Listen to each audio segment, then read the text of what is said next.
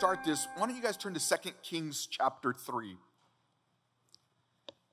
You know what's amazing is that we have the privilege of worshiping King Jesus. We're able to come and freely worship him. We're able to gather as a church family and we're able to worship him. We're able to spend time alone with ourselves and individually worship him.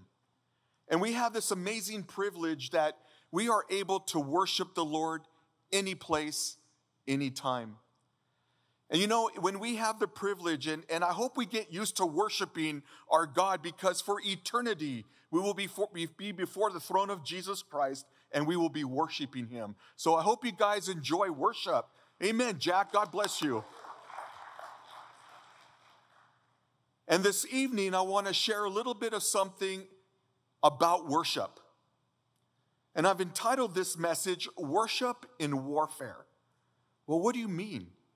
Usually, warfare, we're to put on the armor of God, we're to, we're to get on the belt of truth, we're to get the sword of the Spirit, we're to get the shield of the breastplate of righteousness and the shield of faith, and we're to stand fast.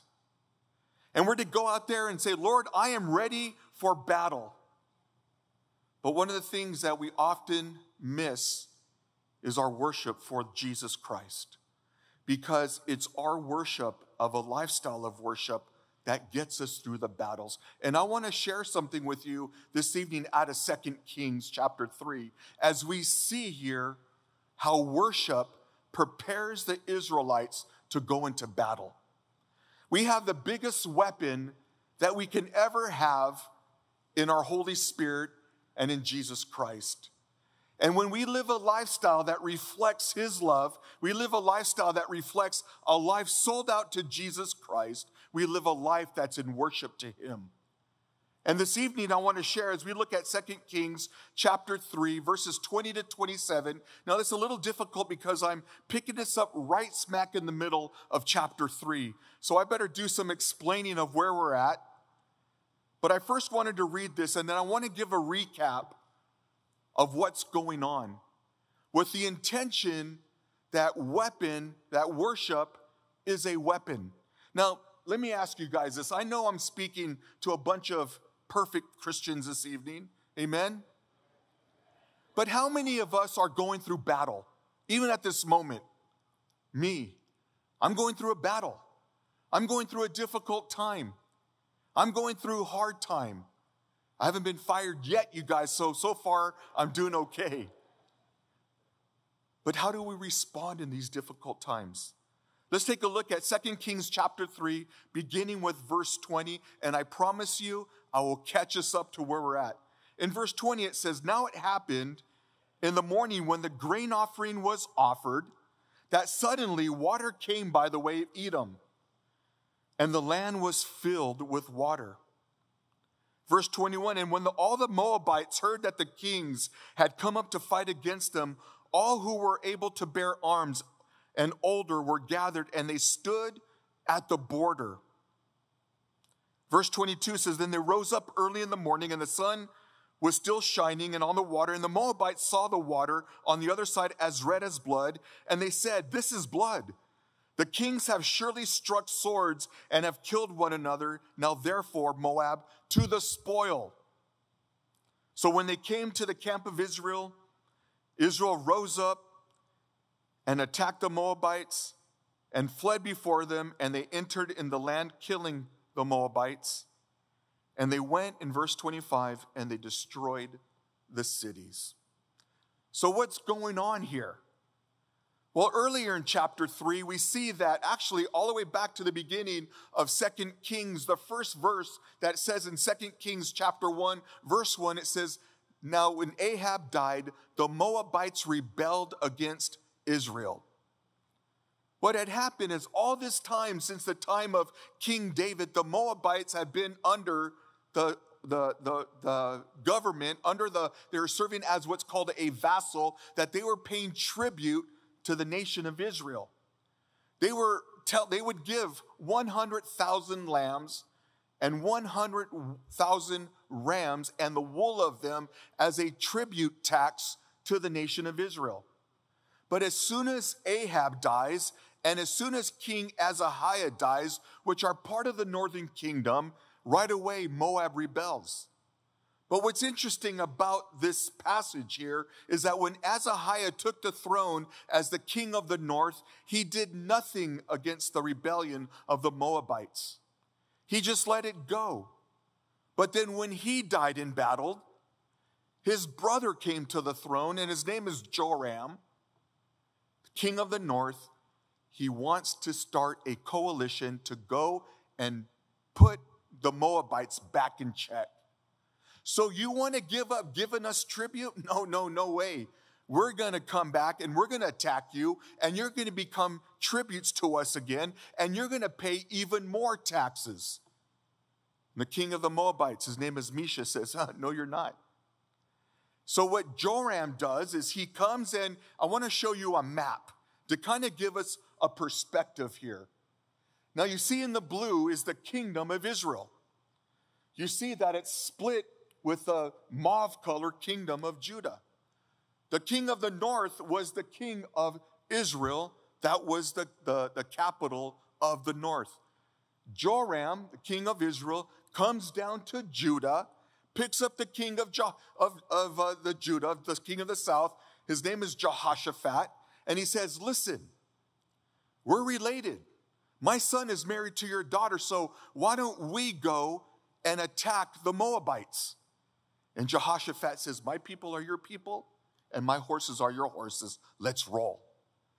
So they come down and they now enter to the king of kingdom of Edom, and they get the kingdom, the king of Edom, to join them in this attack. Well, what happens is you see that body of water there, that is the Dead Sea. And what they want to do is they want to surprise the Moabites in attacking. So, what they want to do is they want to come down through the south.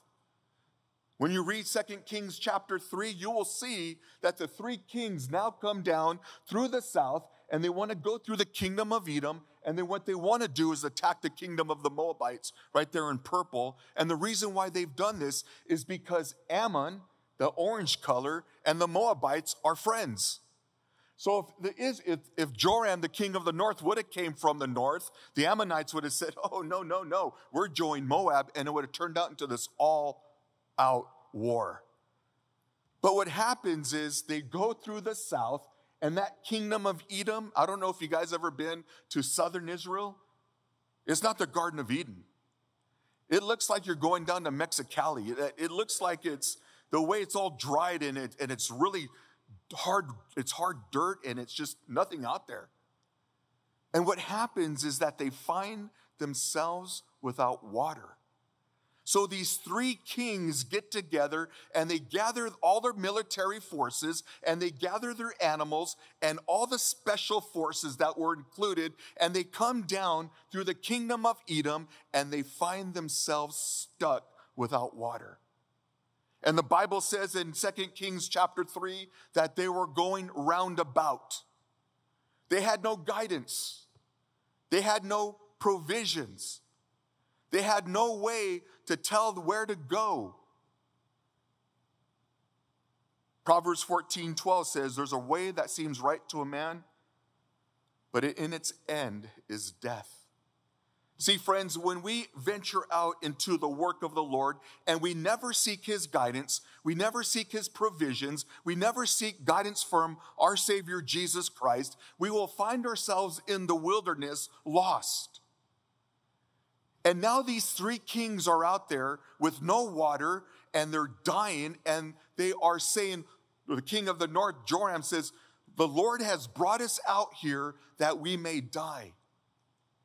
He begins to blame God for his dumb decision. He's now blaming the Lord, saying, Lord, it's your fault for bringing us, us three kings out here so that we can die. I start thinking about my life, how many times I've done the same thing. Lord, I want to do this, but I never inquire of the Lord. Instead, I lean on my own understanding and I go out and do this venture and I find myself in a roundabout, in a spiritual wilderness, dying of thirst, hungry, and nothing to provide. It's because I didn't seek the counsel of the Lord.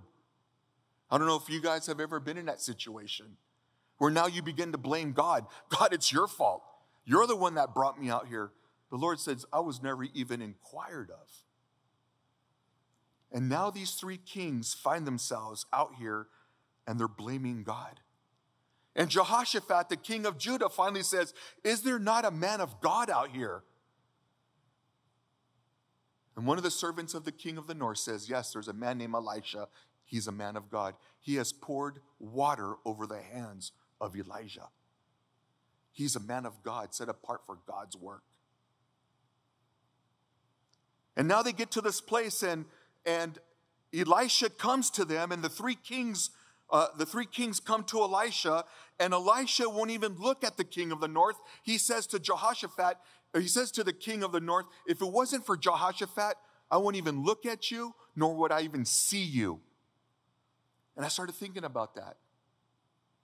Joram represents wickedness. He, presents, he represents the flesh. He represents sin. His father, Ahab, was one of the most wicked kings of the entire north, northern kings of Israel.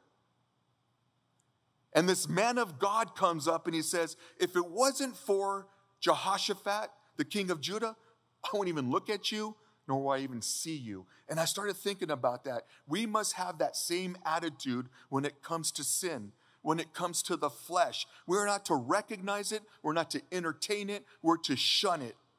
And Elisha's picture of that to me spoke to me and saying, I don't need anything to compromise my walk with the Lord. It's already hard enough. And Elisha says something interesting when you look at verse 15 of chapter 3. And this is where I want to start developing this theme of worship as a weapon. Because we see in verse thing, the first thing that Elisha asked is he didn't ask for anointing oil. He didn't ask for a prayer chain. He didn't call his best friend. He worshiped. He worshiped the Lord. It says here in verse 15, now bring me a musician.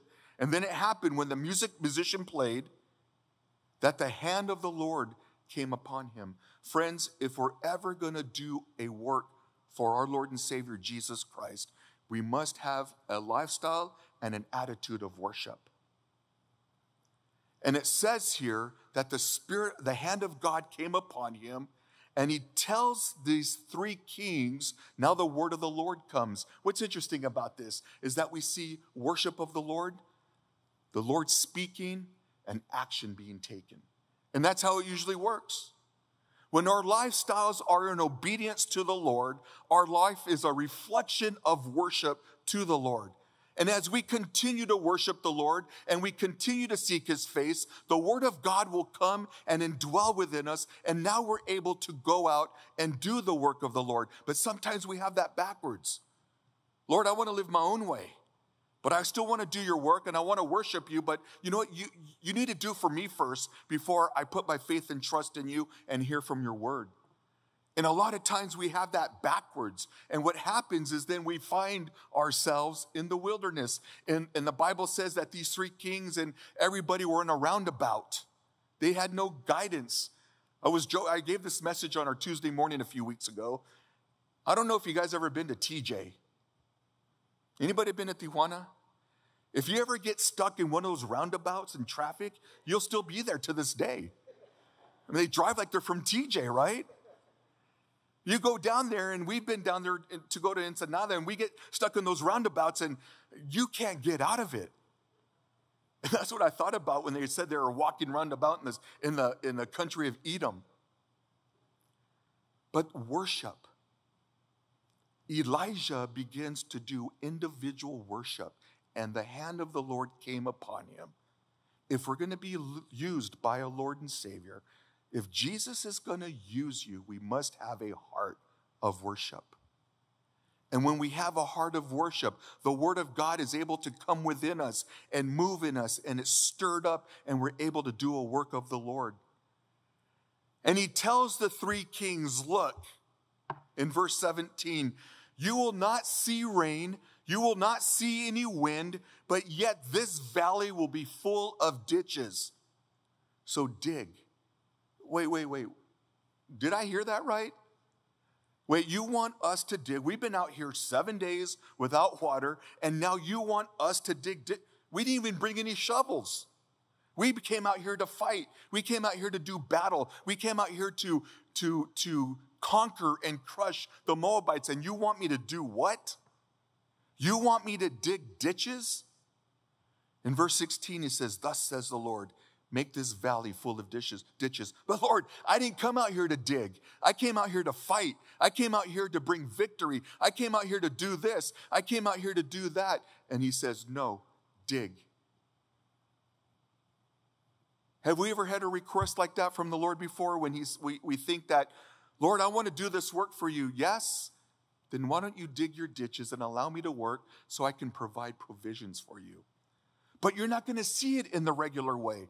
You're not going to see the rain clouds. You're not going to see the wind. You're not going to see any of this, but I'm going to provide for you. Do you trust me? Me, if that was me, I would say, Well, Lord, you know, show me a sign first. Why don't you show me first that you'll provide water and that all the people will have something to drink and that all my military people would have refreshment? Show me that, then I'll dig. God says, no. The Word of God says, dig. You know, when we dig ditches in our life, we're anticipating the hand of God to move and bring provisions. And he tells them in verse 16 that you're to make this valley. Now, I don't know if you guys ever been to a valley. A valley is big. And he says, make this valley full of ditches. It was no easy task. And he tells them to go out there and he tells them to begin to dig. Now, I don't know about you, but if all of us were stuck in the desert and we've had no water, and I come up to you and say, God bless you guys. You know what we're going to do? We're thirsty, we're exhausted, we're hungry, we're tired, but I want you to dig ditches. You guys would stone me. What are you talking about? I see Gary Yamamoto back there. He'd come up and, mm. You want us to do what? You wanted me to dig a ditch out here in the middle of nowhere when we have no water? You, you, you, there's no even sign of rain. And you want me to do what, Lord? But when we're in worship to God, we hear from the word and we act in faith. And so the Lord, speaking through Elijah, he tells him to dig. And not only will I provide water for you, but I will also deliver the Moabites into your hands. See, my friends, when we have a life that reflects worship to our King Jesus, and we're in His Word, and things may not be going as we plan as they go in, and we may be in a difficult place where we find ourselves in the wilderness, the Word instructs them to dig. It doesn't make sense, but Lord, I'm going to trust in you anyways. I don't have the tools to dig. I'm hot. I'm thirsty. I'm exhausted. I have no way to do this, Lord, but I'm going to trust in you. That only comes from a heart of worship. And in verses 17 and 18, we see that it, it, the, the word of God comes to Elisha and says, You will not see rain. You won't even see wind it's not going to look like you typically think it's going to look like. I'm going to do something in your life that is so big that not only am I going to provide water for you, but I'm going to go beyond and provide a victory over the Moabites for you. Isn't that amazing when we have a life that's worshiping the Lord, that God provides for us, that His provisions are always in abundance? But it may not look the way it will look. It may look different, but he says, you know what? I want you to dig your ditch because not only am I going to come and provide for you, but I'm going to give you victory. What about those who may be struggling with addiction? Dig your ditch. What about those who are struggling with pornography? Dig your ditch. What about those who are struggling in their marriages or financially? Dig your ditch and worship the Lord and live a life that reflects God's word and he will make the provisions for you. And in verse 19, he says, Then you shall attack.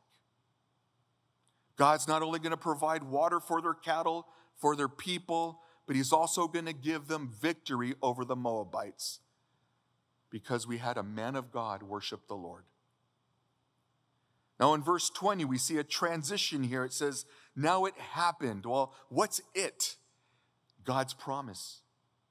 God's promise that if you dig these ditches, I will provide the water for you. And it says in verse 20, now it happened in the morning when the grain offering was offered that suddenly water came by the way of Edom and the land was filled with water. Let me say that again. And the land was filled with water. Was it a semi filling? Was it just a quarter of a filling? No. The words of Jesus are always faithful and true. And we can put our trust and hope into Him even when it doesn't look good. See, the word of the Lord came true. And we know that the word of the Lord is always faithful and true. And we know that the Lord says that he will always do. And this is confirmed by how this verse began. Now it happened. Before the word of the Lord that instructed these three kings through Elisha, there was worship. And now we'll see here another act of worship in verse 20 when it says that a grain offering was being offered. Now, a grain offering is a type of sacrifice described in the Old Testament, specifically in Leviticus chapter 2, that the Israelites were to offer to God. It was an act of worship to the Lord. It would be an offering that is with wheat or barley, depending on what is available, but it was an offering that was offered to the Lord. While other sacrifices had very specific instructions from God and how they were to be offered, the grain offering was a little different because it had some flexibilities based on what was available. A grain offering could be either uh, could be given to God either uncooked or cooked in an oven or in, a pan. You can see that in Leviticus chapter 2, verses through 4 through 5. But the requirements for the grain offering were it had to be grounded, they had to add oil to it, and it had to have salt. Those were the only requirements of the grain offering. But when a person brought the grain offering to the priest, a small portion was given to the priest, and the rest was offered to God. The grain offering is often described as a most holy part of the food offering presented to the Lord.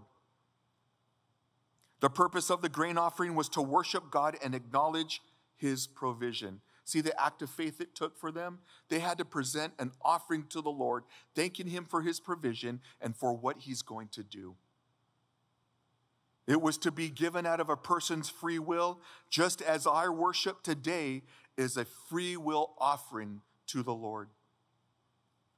What's interesting to note that during the time of the Israelites, 40 years in the wilderness wandering, grain would have been quite scarce. This made grain offerings more costly and precious for the people to offer to God. Given a grain offering in those circumstances represented that the Israelites had dependent, complete dependence on God to provide for their daily needs.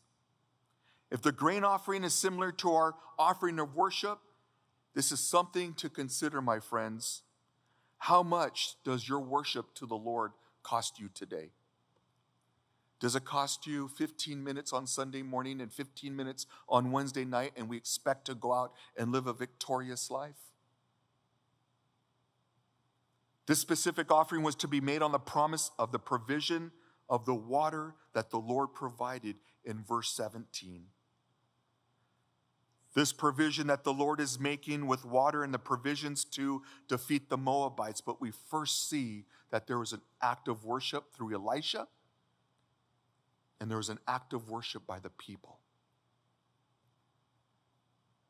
We notice in verse 20 that when this grain offering was offered, it was then that the water came by the way of Edom to provide water. And as mentioned early in verse 15, we've seen something similar in regarding the musical instrument that was brought and played, and the hand of the Lord and the word of God came upon Elisha, which is a representation of what individual worship looks like. See, when we worship the Lord individually, we're to go into a place where our praises and adoration go out to Him, and we're to get into His Word and be led by His Holy Spirit. And then we see the grain offering that is made by the people to the priest, and the provision of water from the Lord was given. And this is an example of corporate worship. Woven into our passage here, my friends, is the importance of worship the importance of individual worship and the importance of corporate worship. But do we truly understand what worship is? Because if we're going to use worship as part of our warfare, we must understand how worship works. We know that worship comes from the name worthiness of Him. We are to worship the Lord. One of the things I believe that has been forgotten when it comes to worship, that is a, it is a very powerful weapon in our fight, in our spiritual battle. Very powerful. But do we understand worship? Many of us don't think that worship is a weapon that we can use when we're battling against the wiles of the enemy. A lot of times we think that worship is the music that sets the mood for a church service. Or we think of it as something that we play softly in the background as long as the song is catchy, right? I mean, I hear people say, you know what, I don't like that worship song, or you know what, that worship song isn't catchy enough. Well, when did worship begin? What does worship have anything to do with us? Worship has everything to do with Jesus Christ. I think as parents, we often think that worship is an alternative to play in the car so our kids aren't listening to songs that are glor- glorifying hookups and drugs. But in fact, we are wielding and holding on to a very dangerous weapon when we worship God. It's not just a peaceful setting in a coffee shop like atmosphere in our church lobby. And for the sake of time, as worship encapsulates a lot of different things, but for the sake of time and for this study, I like to focus on worship on a couple of ways.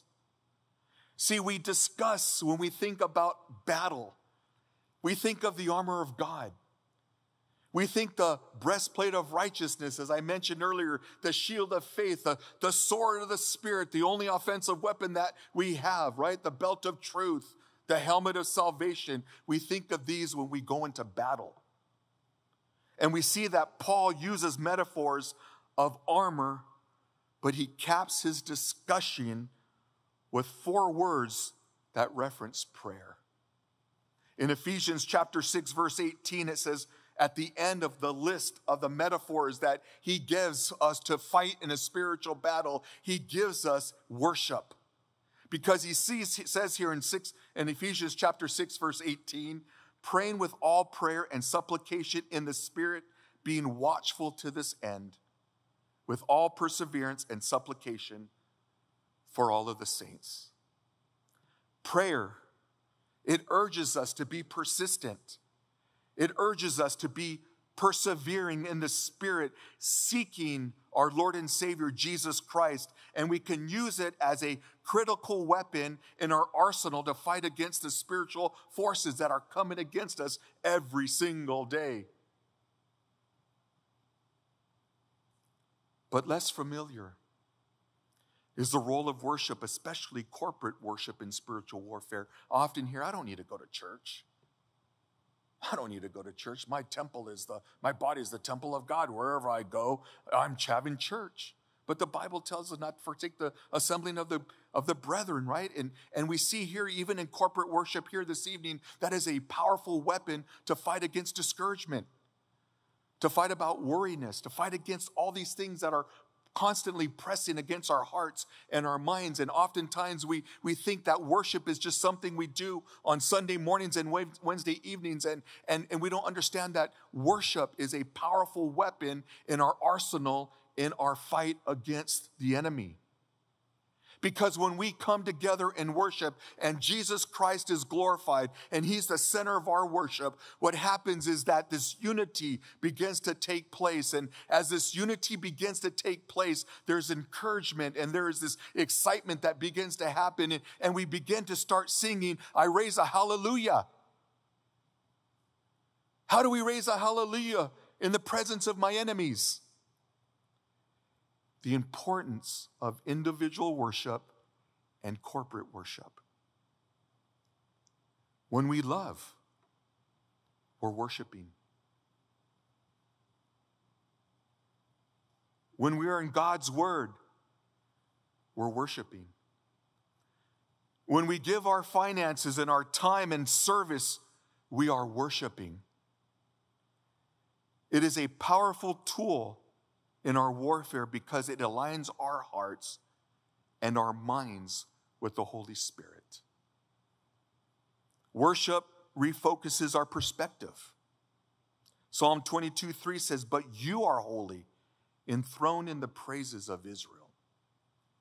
It reminds us of God's promises. When we worship, we're reminded of God's promise. I raise a hallelujah in the presence of my enemies, louder than the, uh, louder than the unbelief.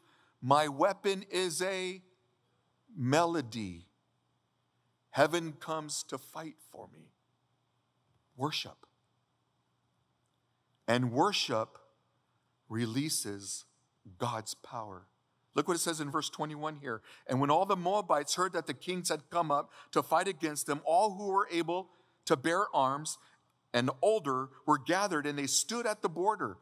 Then they rose up early in the morning and the sun was shining on the water. And the Moabites saw the water on the other side as red as blood. And they said, This is the blood the kings have surely struck swords and they have killed one another. Now, therefore, Moab, go to the spoil. So when they came to the camp of Israel, Israel rose up and attacked the Moabites, and they fled before them, and they entered their land, killing the Moabites. God's power was released. Do we see the importance of worship? Worship is not something that we just do, it's how we live. Worship is a lifestyle. Worship is always keeping Jesus front and center in our lives. It's keeping him front and center when we're at work worshiping Him. It's keeping Him front and center in my marriage. I mean, I'm hoping my wife was more listening to that part than I am. You guys, that was a joke. You're not laughing, huh? Worship Jesus, worshiping Jesus is a lifestyle. It's not something we do, it's the way we live, it's the way we glorify our Lord. First Chronicles chapter 16 verses 8 through 11 says it really nicely. Give praise to the Lord. Proclaim his name. Make known among the nations what he has done. Sing to him. Sing praises to him. Tell of all his wonderful acts. Glory in his holy name. Let the hearts of those who seek the Lord rejoice. Look to the Lord as, and his strength. Seek his face always. That's the lifestyle of worship. So, how are we doing in this area? Does our life reflect, reflect worship to the Lord? Or is it something that we do for a few moments on Sunday mornings and Wednesday evenings?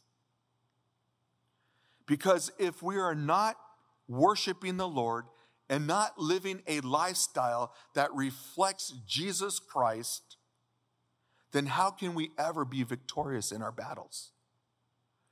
How are you fighting your battles this evening? Do you raise a hallelujah? Are on your knees praying? Are you worshiping the Lord? It's hard to do that when we're upset. It's hard to do that when we're going through difficult times. It's hard to do that when we're in the wilderness. But when we do so, we're bringing glory and honor to His name, and He will make provisions for us. We dig our ditches.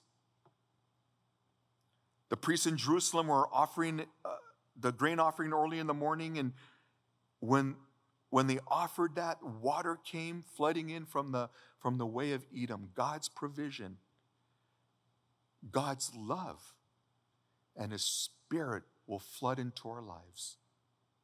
That will give us the strength that when we walk through the valley of the shadow of death, that we will fear no evil why? Because your rod and your staff, they comfort me. See, oftentimes in that valley of the shadow of death, Lord, where are you? I don't see you, Lord. I don't feel you, Lord. I don't even know that you're there, Lord. And Jesus is saying, I see you and my eye is on you as an eye, my eye is on the sparrow. And oftentimes we're thinking, but Lord, where are you, Lord? I, I don't see you.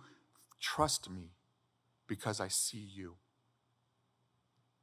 And when this water came flooding in, the worship that happened and this water that came in, it filled the trenches and it formed pools on the earth, and the soldiers and the cattle and the animals were able to drink until they were full. And in verse 21, we see, but the Moabites, they assembled an army at the border. They knew nothing about the rain. God, it was amazing that God provided this miracle through this act of worship these acts of worship, that the sun reflected on this water. Edom is known as red, and between the reflection of the sun and the, and the pools and the ground that was red, to the Moabites, it looked like blood. And they said, You know what? They killed each other. Let's go after them. We're going to get them. They've been delivered in our hands. And they go, and the Israelites destroy them. Confident in their safety and their opportunity for wealth, the Moabites attacked the camp of the three kings and were soundly defeated and chased away. And when we look at verses 20 to 25, when the morning comes, everything unfolds as Elisha had predicted. Water flowed into the dry land. The Moabites made mistake of the sun's glow as water for blood, and they presumed that this coalition has fought against each other, and, and they attacked, and, the, and Israel soundly defeats them. And Elisha proves to be an accurate prophet of the Lord. And the kings now know who he is and what extent the Lord will use him. Worshiping the Lord. We have this amazing privilege every day of our lives that we can worship the Lord through our lives. And when we worship the Lord through our lives, as I mentioned, Jesus is glorified. Did you know, friends, that you may be the only Jesus people see? And if you're one of these Eeyores and you call yourself a Christian, what kind of worship is that? Oh, Lord.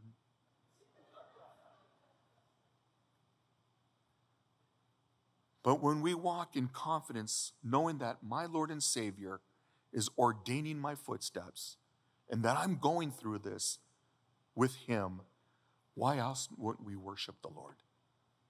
Why not worship the Lord? Think about all the great things He's done in your life. He has a track record that is undefeated, it's unparalleled. He has been victorious in our lives. Why would we not worship Him? Well, you know, they looked at me wrong, and so, really? But what about all the great things that Jesus has done in your life? But you know, and we start making these excuses. What's interesting in, in, here in verse 25, it says that they destroyed the cities and each man threw stones on every good piece of land and they filled it and they stopped it all with springs of water, cut down all the good trees, but they left the stones of Karish, Kir, Hareseth intact. However, the slingers surrounded and attacked it. They were saying this land that represents the enemy, this land throw rocks on it, destroy it, so it will never be able to produce anything again. See, friends, when we're in an attitude of worship, when our lives are aligned with the Word of God, and we have Jesus Christ the center of our lives, we will want nothing to do with the enemy. We will want nothing to do with our flesh. We will want nothing to do with sin. And in verse 25 here, Elisha instructs them throw rocks on this land, throw rocks on it because we want nothing of it to ever come back again. And that's the approach we should take when it comes to sin, when it comes to the flesh, and when it comes to the world.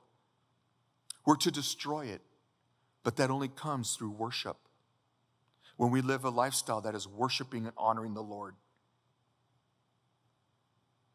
Sadly to say, in this passage, we see another type of worship. Look what it says in verse 26. And the, when the king of Moab saw that the battle was too fierce for him, he took with him 700 men who drew swords to break through the king of Edom, but they could not. Then he took his eldest son, who would have reigned in his place, and he offered him as a burnt sacrifice offering upon the wall. And there was a great indignation against Israel. So they departed from him and returned to their own land. We see another act of worship here. Despite this success of this victory of Israel, it proves to be temporary because we see this horrendous act take place here. The battle could not have gone much worse for Mesha than it did, and his defeat was in total. Mesha's enemies came and they scorched to earth, destroying every field and every fountain in Moab. And when crisis came, Mesha had two ways in dealing with it. Neither one of them involved prayer to God. First, he tried handling things on his own. It tells us in verse 26 that he picked up 700 men who drew their swords and they tried to run and break through the, the, the, the barriers of Edom, which is how most people deal with their problems. I'll do it on my own. And then he does the most horrendous act that we see here 700 men weren't enough and it didn't break through, so it didn't work. So he did one more thing.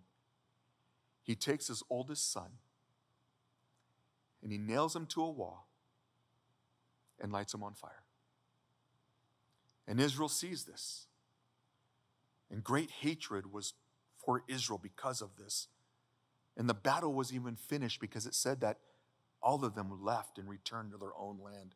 Imagine the sounds and scream of this child being nailed to a wall and lit on fire. The scream of the child himself.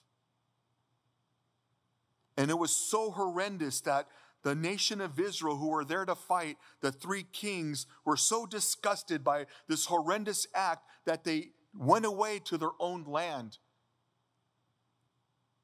and this king of Moab, Mesha, now takes problems into his own hands. And this is the trouble when we try to solve our problems on our own understanding is that we begin to sacrifice the very ones around us that God has entrusted us to care for. We end up sacrificing in pursuit of things.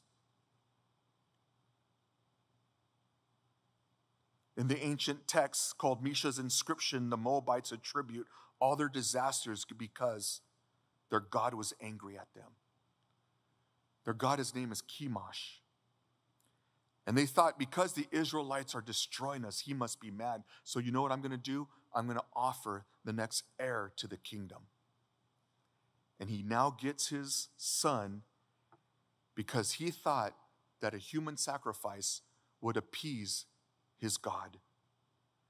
But what he was really doing is that he was handing his son over to Satan.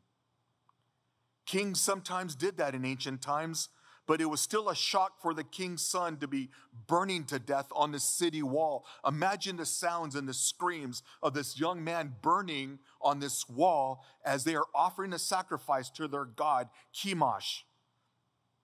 And in their rage and in their frenzy, Mesha's shoulders soldiers finally succeeded in driving the enemies away, but in the process, they lost the heir to their kingdom.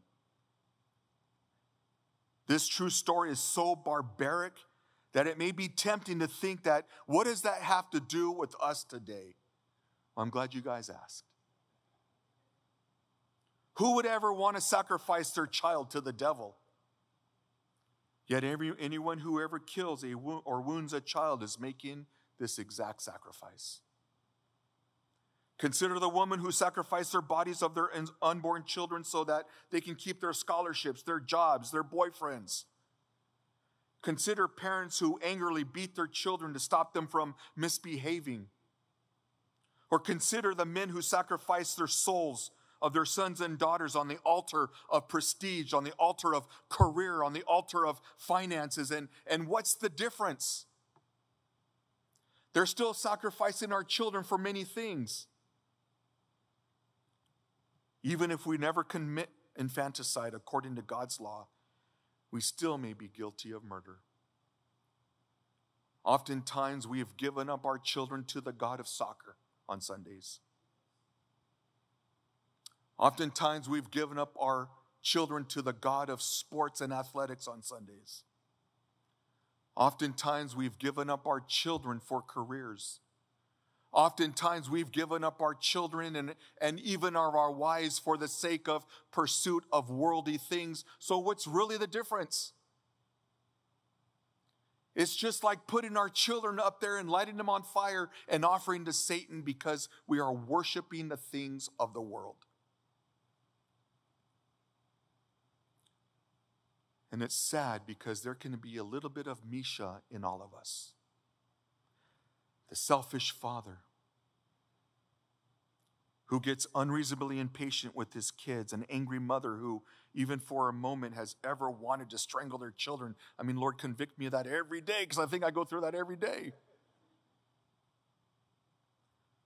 But the crazy thing is that when crisis came, Mesha turned to himself and his son over to the devil. A lifestyle of worship the Lord and God provides, or a lifestyle of worship to the world and there's loss. Who are we worshiping this morning or this evening? What are you worshiping this evening? Does your lifestyle reflect the worship of our true Lord? Or have our pursuits been shifted and, and refocused to the things of the world? Because if we are doing that style of worship, it's just a matter of time until we have sacrificed our children. By contrast, a man named Howard Hendricks tell, tells a story of an Ethiopian man who did the exact opposite. This man's name was Wandero. And when crisis came, he turned himself and his son over to the Lord. And hear how this man, Howard Hendricks, describes the story. And I want to close with this. Wandero was a 20 year old, was 20 years old when missionaries arrived in his village. They had, they had a book that told about a creator and said that people should worship him and not Satan as Wandero and his people did. Within a few weeks of hearing this message, Wandero publicly announced, I renounce Satan and I follow Jesus. He was baptized and immediately he asked to be taught to read so that he can learn more from this book that the missionaries were teaching from.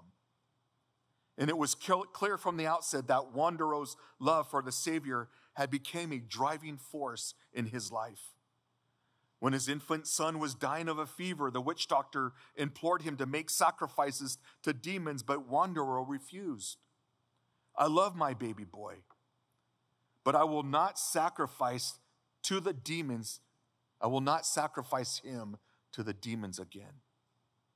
And the boy died. And the villagers went into their customary rituals of mourning.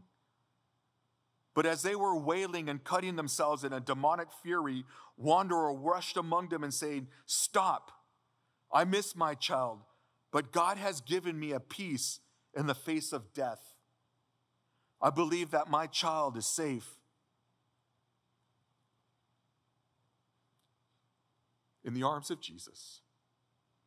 And when the moment of crisis came, Wandero turned to the living God and found a peace that triumphs over death, a life that worships the Lord.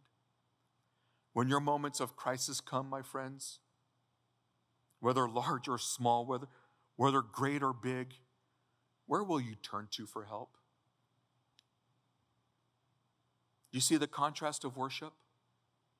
A lifestyle that is worshiping our Lord and Savior Jesus Christ, a lifestyle of worshiping things for the world. One worship will honor the Lord, the other worship will cost us our family. Who are you worshiping? Jesus died on the cross for the forgiveness of our sins. We've been set free. Why wouldn't we worship? Why wouldn't we sing our praises and glory to Him? Why wouldn't we live a lifestyle that reflects Jesus Christ as resurrected and living in our lives. Why wouldn't we? Because we were once blind, but now we see. Why would we not have a lifestyle that worships Jesus? But so many times we think that we can turn here and worship this way and add a little bit of worship from here. And now we have this vessel of God that is contaminated and cannot be filled by this Holy Spirit. So, who are you worshiping? What does your lifestyle reflect in worship? May our life, may our lives always be a life song that sings to the Lord. Does our life reflect the gratitude and worship for what Jesus has done for us? And when we face difficult times, or that we are in a fierce battle, we can trust and have faith in the Lord. And we're to worship Him with our heart, with our lives, with everything we have. And He will provide the provisions we need in our lives. Friends, we need to dig our ditches. And we need to make sure that the vessels of our lives that is for the Holy Spirit to be poured in is emptied of ourselves. It's emptied of the world. It's empty of contamination that allows the Spirit of God to fill in that we may be used and that God will be able to provide provisions for. You may be the only Jesus Christ that people see. How are you representing him? Are you re- representing Him of a lifestyle of worship to Him? Or are you living a lifestyle and worshiping just like Mesha? Let's pray. Father, we